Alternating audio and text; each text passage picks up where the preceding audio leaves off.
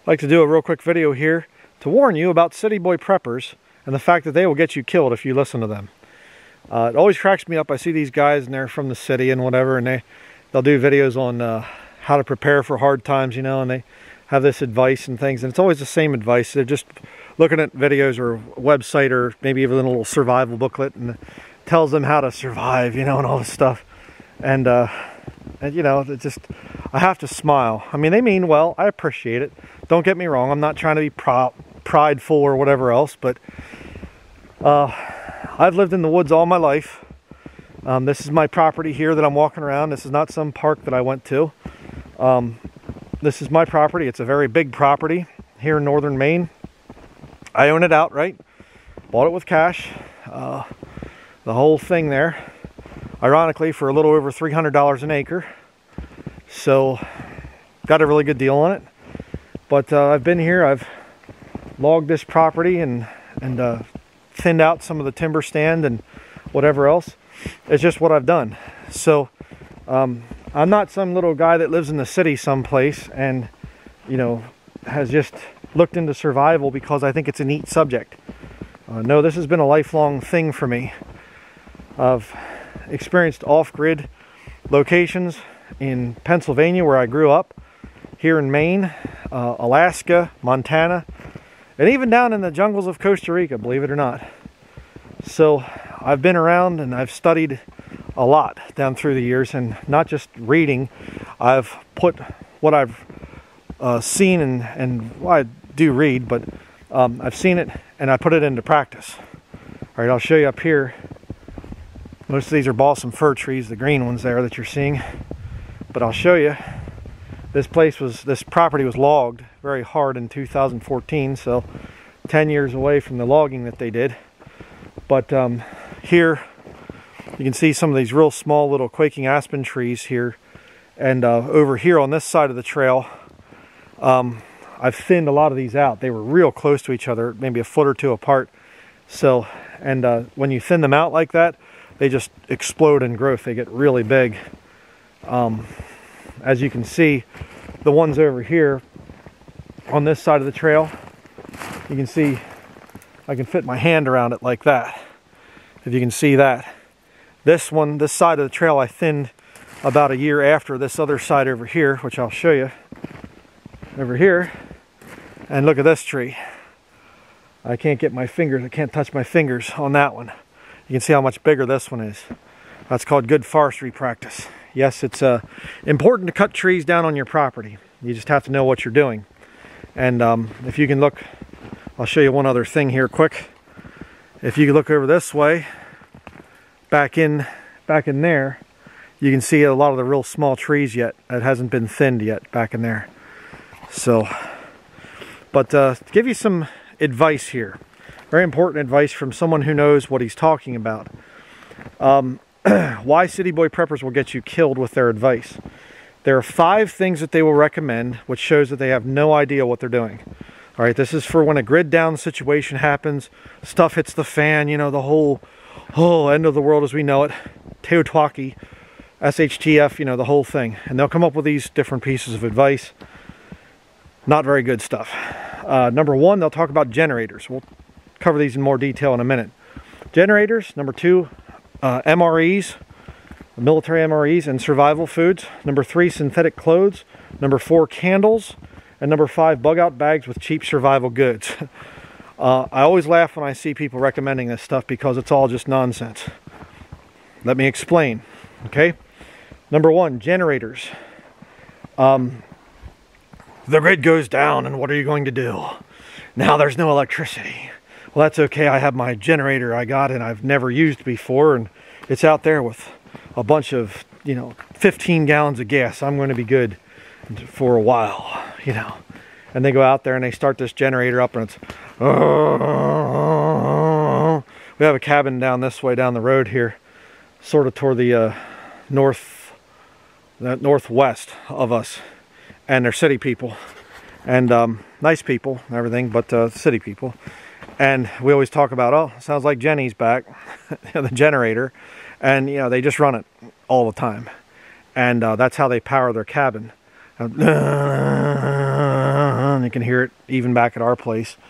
And uh, it's irritating. So irritating. I hate to hear generators just running all the time. And then when they go to bed, you hear it shuts down. And um, uh, grid down situation. What are you doing? Well, you're advertising that you have fuel and probably food. Uh, they're loud. You can hear generators from very far away.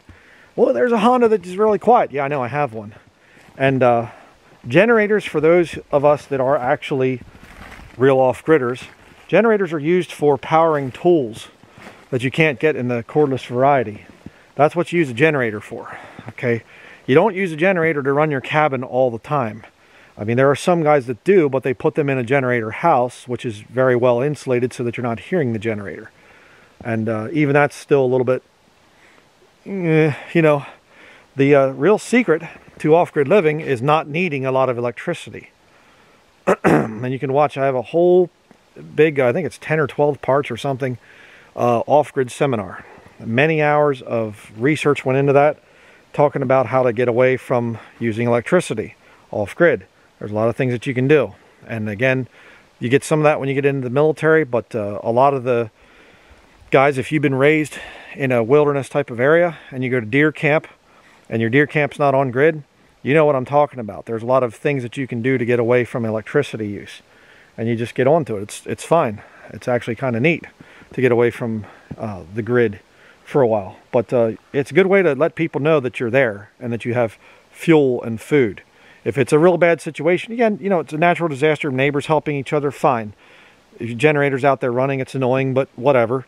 But if you have a bad situation where the society is crumbling and there's rioters and looters coming around, your generator is going to let them know uh, that your house is a good one to hit. Something to keep in mind. Um,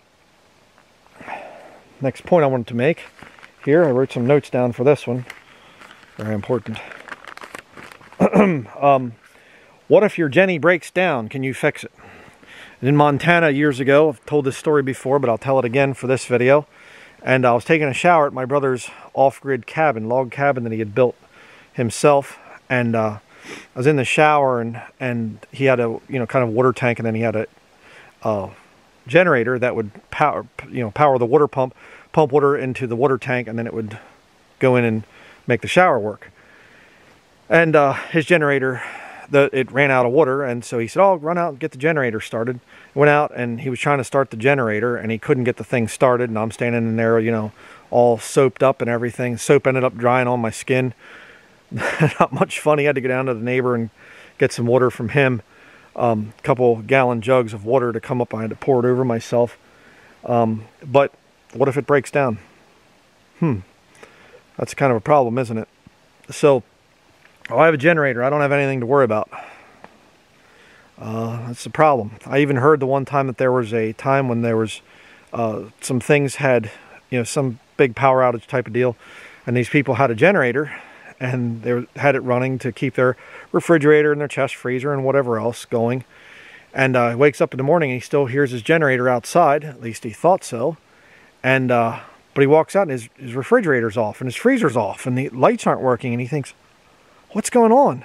Walks outside, and there his lawnmower is sitting there running, and his generator's gone. Somebody got his lawnmower out, started it up, and let it sit there, beside the generator, unplugged the generator, and took off with it. So, a generator is a very quick way to get yourself caught uh, in a bad situation if the grid goes down. But again, you'll see these people. You should have a generator. You should, you know, make sure you have plenty of gas for your generator and, and things. And I've seen these guys. You go into these garages and there's a brand new generator sitting there with cans of gas beside it. You need to run it. If you're going to use it, you need to make sure it works. Make sure, you know, test it and whatever. Okay, number two, uh, MREs um, from the military and survival foods. Mountain House and I forget all the other survival buckets, you know, that can last for seven years. Seven years of food, you know, so you can make it through the Great Tribulation. Um, uh, there's a reason it has a long shelf life, okay? Because it's filled with toxic preservatives. And if you start to eat that stuff all the time, where the grid's down, there's no stores open, you, you have to bug out or whatever, um, you're going to be dead, okay? Or so constipated you'll wish you were dead. All right. Uh, That stuff is not good for you, okay? And it's not really truly the ancient system of food preservation, all right? Uh, dried goods is what you actually want to store up on. And some people, of course, they recommend this. That's good. But stay away from the freeze-dried garbage and MREs from the military. That stuff's junk. Um, dried beans, pasta, rice, oatmeal, things like that are good to have. All right, those are the type of things that you can store up. They'll last you many years if you keep them in a dry, you know, cool area. They'll last for a long time. Um, apple cider vinegar, any kind of white vinegar for cleaning things. Apple cider vinegar for uh, a lot of health uses and things like that. That will last you for pretty much indefinitely. Raw honey, um, maple syrup, superfood powders, cacao, uh, maca root, um, turmeric, things like that. They're very high nutrient dense. If you can't get regular food, might be a good idea to have some of those superfood powders. On uh, dried fruit and nuts, another thing. Raisins, cranberries, dried cherries. Um, stay away from stuff that has a lot of the, um, uh, I can't think of what it's called, not dextrose, but uh, there's different chemicals and things that they'll use to actually help preserve the fruit, the dried fruit. And that stuff I'd stay away from. You'll see it on dried pineapples, uh, apricots, uh, things like that, you know. Um, but if you can get just good um, dried cranberries, raisins, uh, cherries and things, those are really good for you. And you can rehydrate them as well. Put them, soak them in water and they'll rehydrate and make it easier to digest them. And of course, another thing would be nuts they don't have a huge shelf life, but you know you can get salted nuts and they'll last for a long time as well. Um, pretty good for uh, a lot of different purposes there. So that's another thing. Um, spices, herbs, and sugar and salt. Another thing that will last for a very long time. Again, you have to keep it dry. Don't put it in a damp area. That will ruin it. And don't get white sugar or white salt. You want to get uh, Celtic sea salt. Um, the uh, it's kind of a it's damp a little bit. It comes from the ocean, and um, but that stuff will last for a long time. A gray sea salt, in other words. Uh, I, am not really into the pink Himalayan salt. It stuff gives me headaches, so I don't mess with that. But um, as far as sugar is concerned, you want uh, cane sugar is really good. It's kind of a brown sugar. Um, if you can't get cane sugar, then a good brand of brown sugar is good, but make sure it comes from pure cane sugar sources and not you know, molasses dyed uh, white sugar, um, which is real. That stuff is there. So that's another thing that you can get. Again, sugar and salt are preservatives, real, true, natural preservatives. You can come out here. There's uh, none right here in the general vicinity around me, but maple trees. You can tap the maple trees, get the syrup, cook it down, or the sap, cook it down into syrup. If you keep cooking it down, it turns into sugar. Very laborious process, but it is possible. Some people are a lot better at it than I am. We have a few sugar maple trees on the property here, but mostly red maple. Red maple makes a darker syrup and not nearly as high yield as the sugar maple, Acer saccharum, if you want to get into the Latin. Um, you can also get uh, birch trees, also will yield a syrup, but again, the sugar content's really low in the syrup. And you're better off just drinking that, that sap, not syrup, the, the sap, excuse me. Um, so, yeah, there's the thing is in terms of MREs and survival food, avoid that stuff. It's terrible. I see people, you know, stock up on all these things. I have, you know, five years of food, survival food. Garbage. Okay. Um, I hiked the Appalachian Trail for a little while with my brothers, my two older brothers, back when I was a teenager, and we were eating MREs.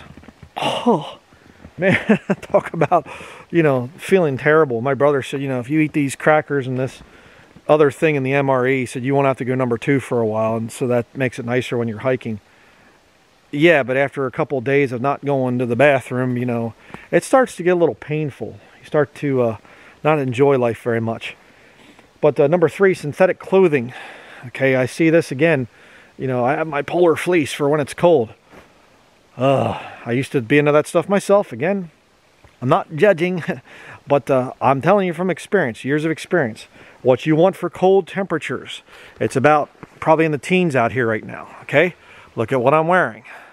I'll show you my coat here in a minute, but what is this? A pure wool sweater, knit sweater. Uh, if I'm going to be hiking and doing work outside, doing firewood, splitting firewood or whatever, it's going to be a cotton underlayer and a wool outer layer, layer or cotton shirt, uh, cotton flannel, and wool is what I wear. Um, wool long underwear of a real fine micron. It's not scratchy. And then if I'm just going to be standing a lot and talking, then there is nothing better. This is the very highest level that you can get to right here of warmth for winter, uh, cold environments. Shearling. What is shearling? Leather on the outside and the fur of the animal on the inside. There isn't anything better than that. Uh, if I remember correctly, I think the native people in Alaska, they use two layers of shearling and I think it's fur on the inside, leather on the outside, and then leather on the outside, fur, or leather on the inside, fur on the outside. So it's two layers of, you know, fur to leather, leather to fur to the outside. And uh, just about impervious to any kind of cold. Um, this will block, you know, I ride snowmobile and I have shearling on. I don't bother with the synthetic suits and whatever else and stuff. I don't like to wear plastic, okay? And that's basically uh, synthetic fibers are derived from the same petroleum that produces plastic and diesel and gas and everything else. Uh, no thank you. Um, there was a reason B-17 uh, crews wore shearling leather suits, pants and tops, because up there, when you're flying up there in World War II and the doors, side doors are open and everything else, it's 30 below zero when you get up high up there.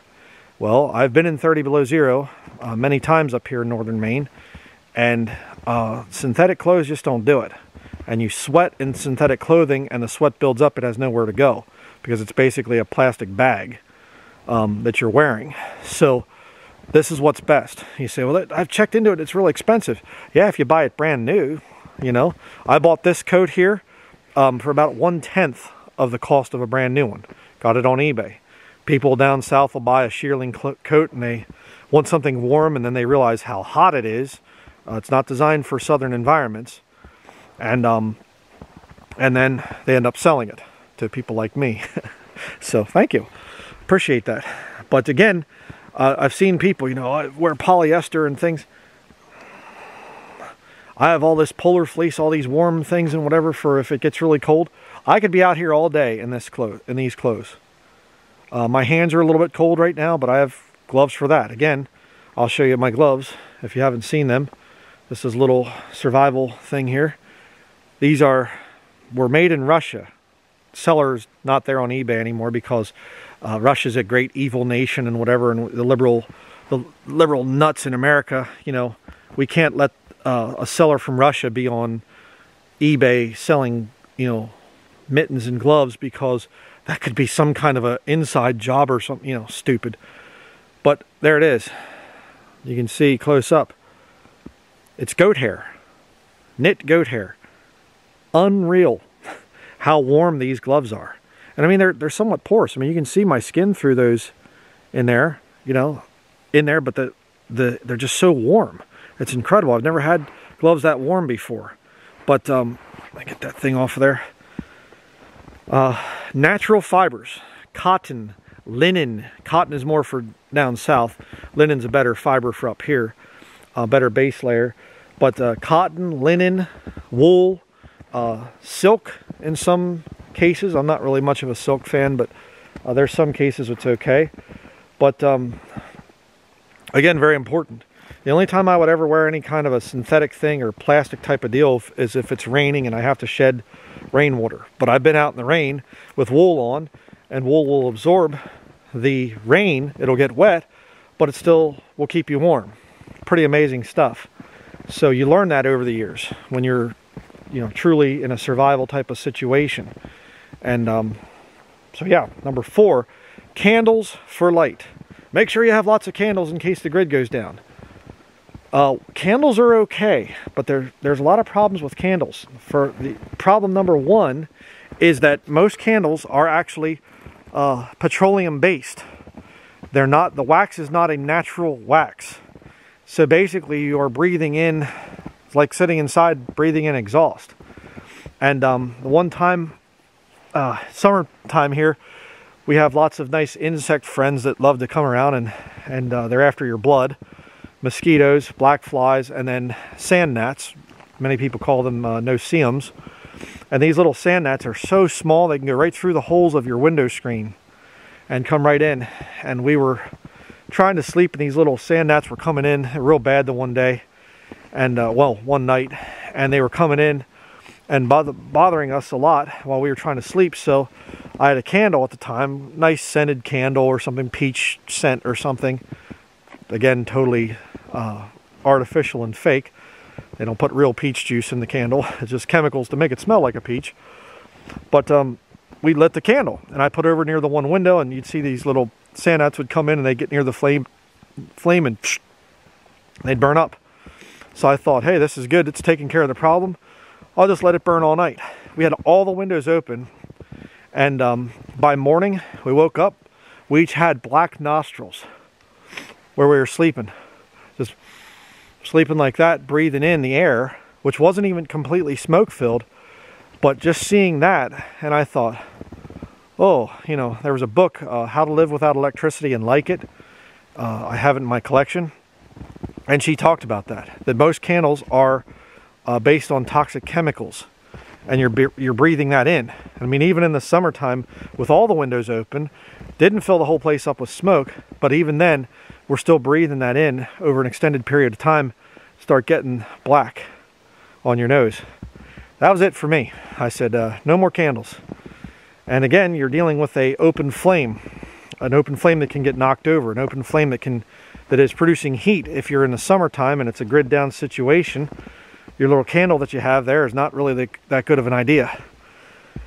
And I have in my off-grid seminar the whole thing on lighting, and I talk about the best type of lights that we have found in all of our years of study and research, and that is rechargeable battery LED lights.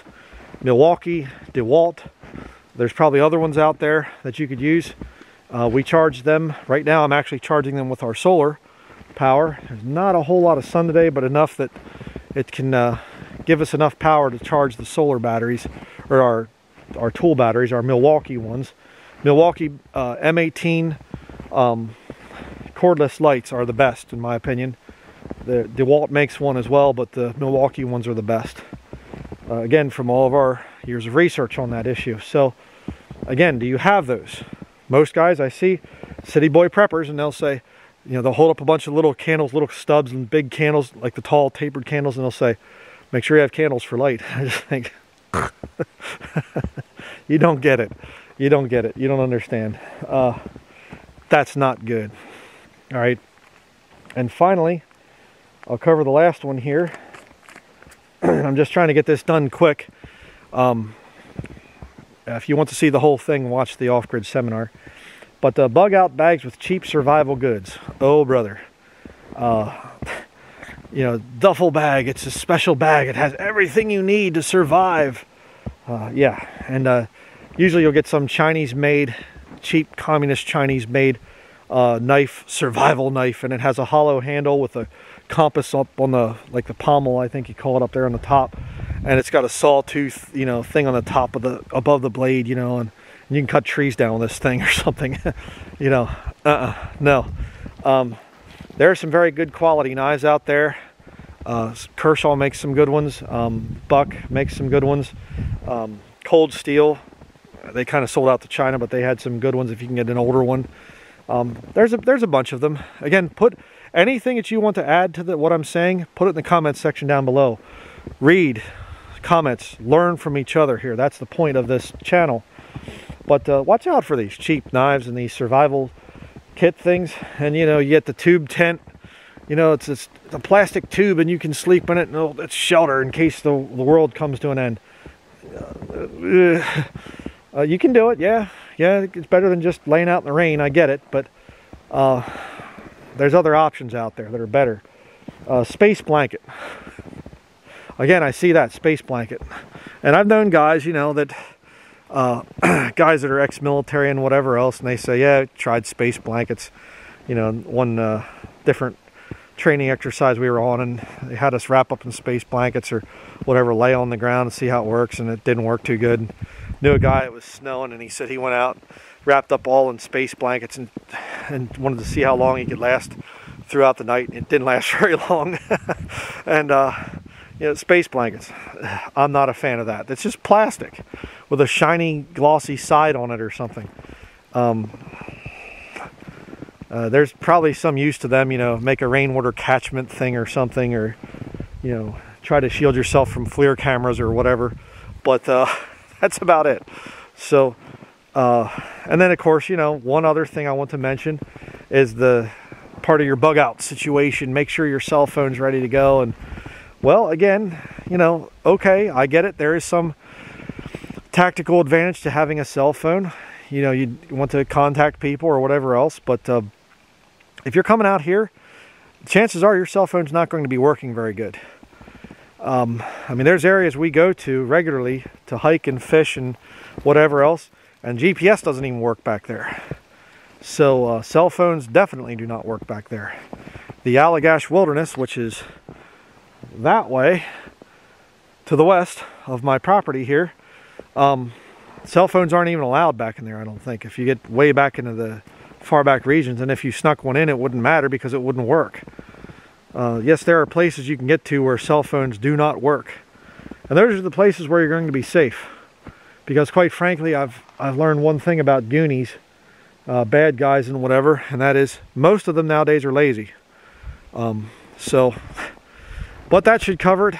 And they won't go walking back in places and whatever, but that should cover it. I see my battery's about dead here, so hopefully you've learned something watch the off-grid uh, survival thing here, the uh, off-grid seminar, and uh, put your comments down below. I'd like to read them. Thank you for watching.